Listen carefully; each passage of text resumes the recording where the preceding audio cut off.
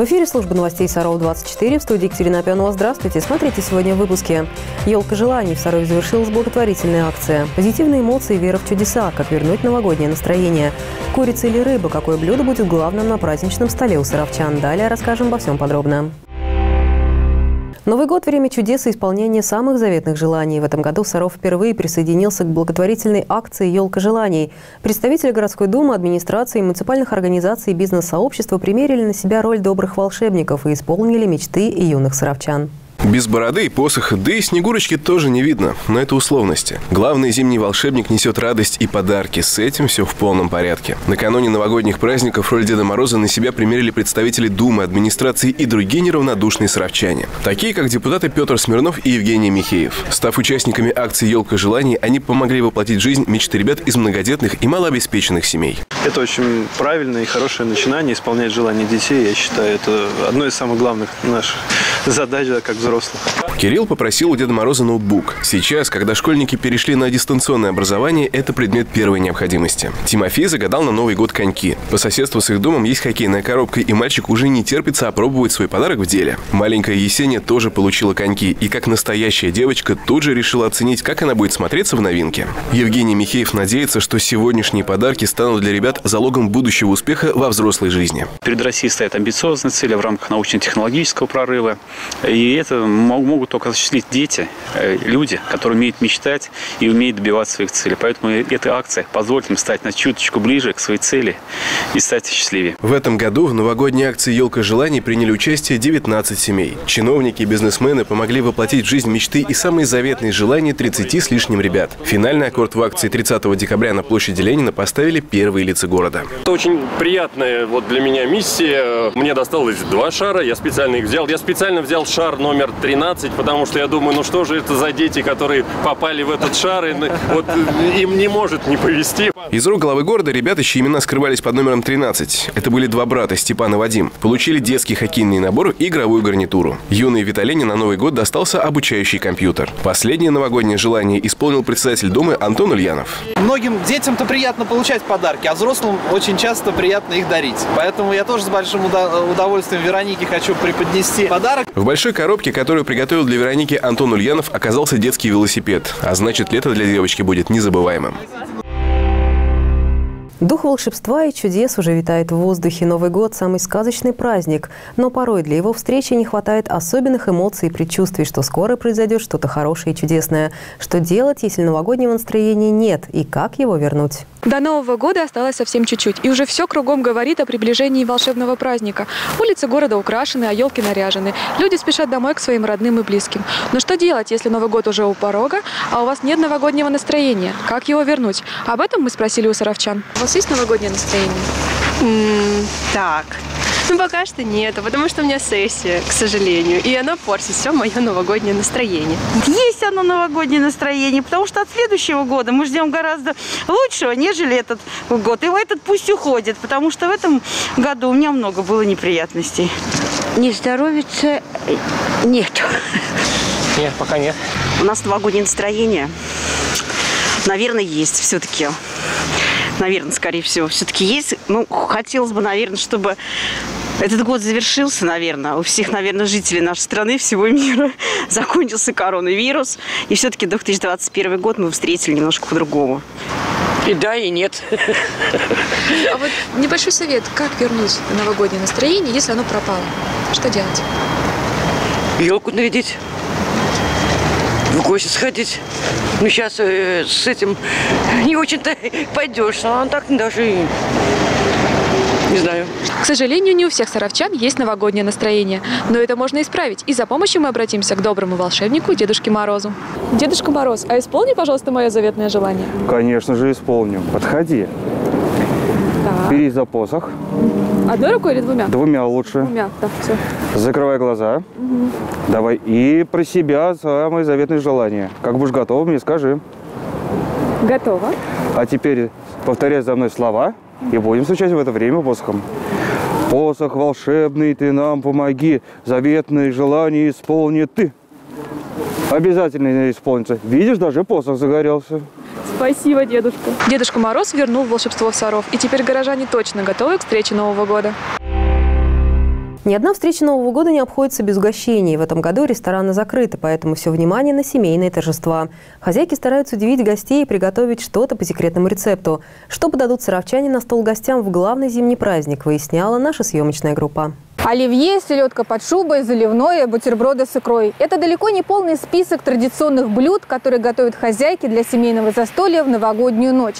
Чем в этом году хотят саровчане удивить своих близких? Может быть, приготовить что-то экзотическое? Скажите, пожалуйста, какое будет главное блюдо на вашем новогоднем столе? Говядину в апельсинах. Ну, я уже купила утку. А что с ней будете делать? Ну, я сначала ее мариную, а потом с капустой тушу с рисом и туда еще фарширую и запекаю в духовке. Ну, я в гостях буду. Какой приготовят? Оливье, наверное. Ой, даже и не думала. Не знаю. А что обычно готовите? Салат оливье, мясо. Ну, когда рыбку делаю. В основном так. Вы знаете, к сожалению, ничего не потому, что я работаю. Новогоднюю ночь. Вау, а? может... Да, что у вас с мамой, может быть, будет? Ну, расскажи. Расскажи, что ты приготовишь. Ну, может... Салат какой-нибудь ну, или да, горячий? салат. Салат какой? Да. Вот, там, селедка под шубой. Курицу. А поделитесь рецептом. Ну, это свои рецепты. Я здесь старенький человек, я живу с дочкой, не знаю, что будет. А что вы раньше готовили? Ой, раньше, ну, раньше это было когда, это когда было салат, э, винегрет, в общем-то, так это, все нормально было. Оливье. И какой-то особенный рецепт или классический? Классический. Филе куриное хочу. И лосось. Мне подруга готовит. А, очень вкусно. С картошкой, да, вкусно, запеченная, между прочим. И чем-то фарширует еще рыбку. А еще скумбрия. С это, вместо селедки, селедка под шубой, скумбрию туда добавляешь. В детской библиотеке имени Пушкина завершился прием работ на арт-марафон «Зимняя сказка». Юные художники и иллюстраторы принесли в библиотеку более 100 рисунков. Все работы опубликуют на официальном сайте. А в Рождество откроют в библиотеке выставку. Снеговик-почтовик, Дед Мороз, Снежная королева, Волк, Лисица. Этих и многих других сказочных персонажей нарисовали юные саровчане для арт-марафона книжных иллюстраций «Зимняя сказка». Наш книжный арт-марафон был направлен на а, укрепление традиций семейного чтения, а, на то, чтобы дети, дошкольники и младшие школьники ознакомились с художественной литературой зимней и новогодней тематики для поднятия настроения, боевого духа. Вот. И также на развитие детского творчества. Ребята читали зимние книги, выбирали понравившиеся им цитаты и рисовали иллюстрации к ним. Всего в библиотеку прислали около 100 рисунков. Все эти иллюстрации, все эти рисунки будут представлены на нашей выставке в библиотеке в январе. Все желающие могут прийти, пофотографироваться и полюбоваться на детское творчество. Все, кто принимал участие в создании иллюстраций, получат дипломы, а руководители детских работ – благодарственные письма. Рисунки опубликуют на сайте библиотеки до 15 января. Мы очень рады, что так много саровчан приняли участие в нашем э, марафоне э, и что данные работы будут радовать нас и наших читателей еще долгое время. Выставка сказочных рисунков откроется 7 января в Центральной библиотеке имени Пушкина и продлится до конца месяца. Познакомиться с детским творчеством приглашают всех желающих. Новый год – возможность сказать теплые слова, поблагодарить и пожелать всего самого наилучшего. С Новым годом саровчан поздравили первые лица области и города. В конце 2020-го мы просто обязаны очень пристально смотреть в будущее. Отметив 75-летие Великой Победы в этом году, мы вступаем в год 800-летнего юбилея Нижнего Новгорода. Это событие надолго определит и наше будущее, и, конечно, подарит много приятных мгновений. 2020 год уходит. Приходит новый, 2021. Пусть всем нам он принесет много радости и счастья. С Новым годом! В первую очередь я хочу сказать слова благодарности нашим врачам за их самоотверженный труд. Также сказать спасибо всем, кто в это непростое время помогал заболевшим, волонтерам, сотрудникам некоммерческих организаций, предпринимателям, деятелям культуры, спортсменам, журналистам, вообще всем, кто не остался в стороне в этой ситуации и помогал с доставкой продуктов, лекарств, выгулом домашних животных. Ваш вклад трудно переоценить. В 2021 году нас ждет много интересной работы на благо родного города. Большая часть ее будет направлена на развитие инфраструктуры города и создание комфортной среды для нас и наших детей. Я надеюсь, что эти проекты будут реализованы должным образом и надеюсь на ваше участие и поддержку. Пусть в эти новогодние и рождественские дни никто не останется обделенным заботой и вниманием. Пусть ваши дома наполнятся теплом и уютом. Поздравляю вас, друзья, с Новым годом и Рождеством. Желаю вам счастья, здоровья вам и вашим близким, оптимизма и удачи в Новом году.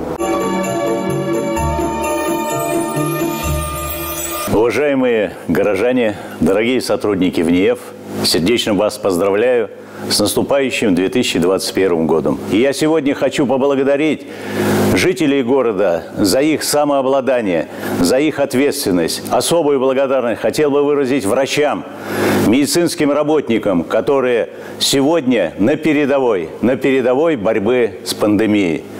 Безусловно, что выйдя на полку, мы рассчитываем первой половине 2021 года на стабилизацию, на дальнейшее наше развитие, на привычный уклад жизни. Это наша надежда и это наша мечта, которая живет в сердце каждого горожанина, в сердце каждого россиянина. Вступая в 2021 год, я желаю каждого из вас здоровья. Я желаю вам вашим близким быть здоровыми и счастливыми. Но для этого нужна самодисциплина.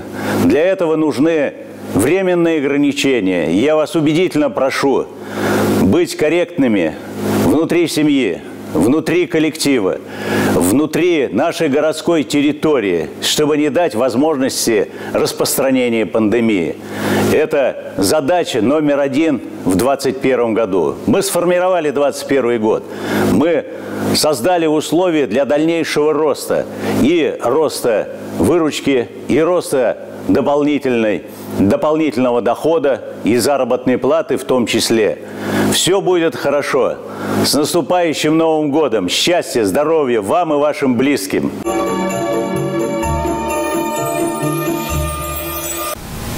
Уважаемые саровчане, поздравляю вас с Новым годом! А, в 2020 году произошло много знаменательных событий. Мы отметили 75-летний юбилей Великой Победы, юбилей атомной отрасли. И, конечно, важное политическое событие – мы выбрали седьмой созыв депутатов. Я отмечаю, что выбранные в Думу депутаты – это люди, которые искренне желают нашему городу развития и процветания. Новый год – замечательный семейный праздник. И пусть в каждой семье, в каждом доме будут подарки, улыбки, добрые слова, теплая атмосфера. Пусть каждый день Нового года приносит э, в нашу жизнь радость от творчества, от созидания. Дорогие саровчане, счастья вам, здоровья и благополучия. С Новым годом и Рождеством Христовым! Дорогие саровчане, мы провожаем високосный 2020 год. Для нас всех он стал вызовом. Мы столкнулись с новой реальностью, самоизоляция, удаленная работа и учеба. Новые цифровые технологии стали частью нашей повседневной жизни. Мы научились быть добрее и ценить то, что у нас есть. В первую очередь свое здоровье и своих близких.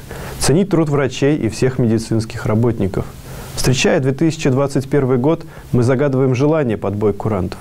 Я желаю вам и вашим близким здоровья в новом году. Желаю быть лучше, учиться новому и не бояться идти вперед.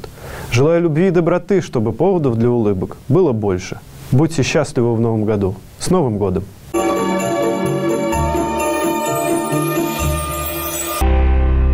И это все, о чем мы успели рассказать сегодня. Следите за новостями города в группах канала 16 в социальных сетях ВКонтакте, Фейсбук, Одноклассники. Подписывайтесь на наш канал в Ютубе и смотрите все информационные выпуски, авторские программы в удобное для вас время. В студии работала Екатерина Опенова. Всего вам доброго и хороших вам новостей.